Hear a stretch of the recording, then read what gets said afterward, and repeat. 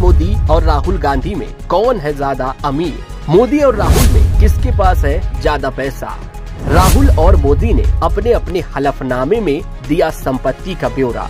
भले ही नरेंद्र मोदी दो बार से प्रधानमंत्री हो, मगर संपत्ति के मामले में राहुल गांधी, पीएम मोदी से सात गुना ज़्यादा अमीर है।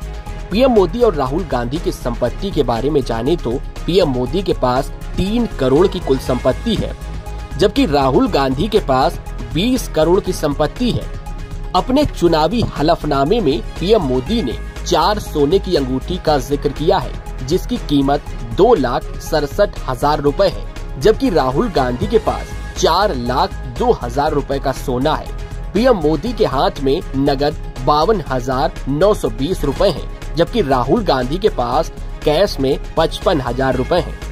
पीएम मोदी और राहुल गांधी दोनों ही राजनेताओं के पास न तो निजी घर है और न ही कार है। जबकि बैंक में जमा राशि की बात करें तो पीएम मोदी के अकाउंट में कुल उन्यासी हज़ार तीन सौ चार रूपए जमा है, जबकि राहुल के बैंक अकाउंट में छब्बीस लाख पच्चीस हज़ार एक सौ सत्तावन रूपए है।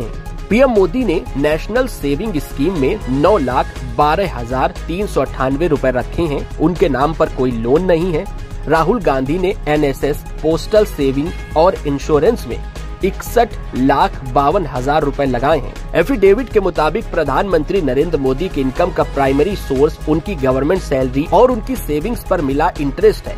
राहुल गांधी की इनकम का सोर्स सांसद का वेतन रॉयल्टी किराया बॉन्ड से ब्याज और म्यूचुअल फंड से कैपिटल प्रॉफिट है। बता दें कि मंगलवार को पीएम मोदी ने लगातार तीसरी बार वाराणसी लोकसभा सीट से नामांकन दाखिल किया है, जबकि राहुल गांधी दो सीटों से फिर से चुनाव लड़ रहे हैं, जिसमें केरल की वायनाड सीट और दूसरी यूपी की रायबरेली सीट है, जहाँ से वे पहली बार चुनावी मैदान में हैं। राहुल पर अलग अलग राज्यों में 18 मामले दर्ज हैं। इसमें से मानहानि के एक मामले में उन्हें दोषी ठहराया गया था और दो साल जेल की सजा भी दी गई थी। हालाँकि 4 अगस्त 2023 को सुप्रीम कोर्ट ने उस पर रोक लगा दी थी, जबकि पीएम मोदी पर कोई केस नहीं है। अगर आपको ये वीडियो पसंद आया हो तो वीडियो को लाइक करें, चैनल को सब्सक्राइब करें और अगर आपका कोई सुझाव या शिकायत है तो कमेंट करके ज़रूर बताएँ।